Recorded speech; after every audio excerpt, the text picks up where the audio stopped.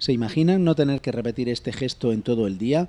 Investigadores de la Universidad de Málaga y de la Universidad de La Rioja han desarrollado protectores solares más eficientes y duraderos, inspirados en hongos y algas marinas. Y la gran aportación que dan estas moléculas es la estabilidad que tienen. Ahora mismo los productos que tenemos tienen una estabilidad de, de 3-4 horas, con un estabilizador, podríamos decir, 6-7 horas, pero las microsporinas puras sintetizadas pero sin nada más, hemos comprobado que, puede tener una estabilidad de, de 24 36 horas. En estos laboratorios de la Universidad de Málaga han probado la estabilidad de estos protectores basados en unas moléculas naturales procedentes de algas que en La Rioja han conseguido sintetizar en laboratorio de manera artificial. Esta planta, que en este caso coincide con la que comemos todo el mundo a, la hora de tomar sushi, que es la cobertura que se llama un alga nori, sintetizan unos aminoácidos que se llaman aminoácidos tipo micosporinas. Y lo bueno que tiene ese aminoácido es que absorben muchísima radiación ultravioleta. La industria ya se ha interesado por esta investigación para su desarrollo comercial,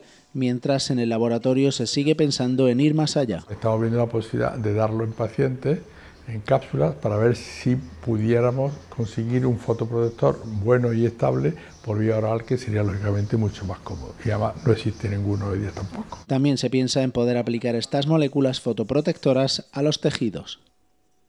Que bien se extiende.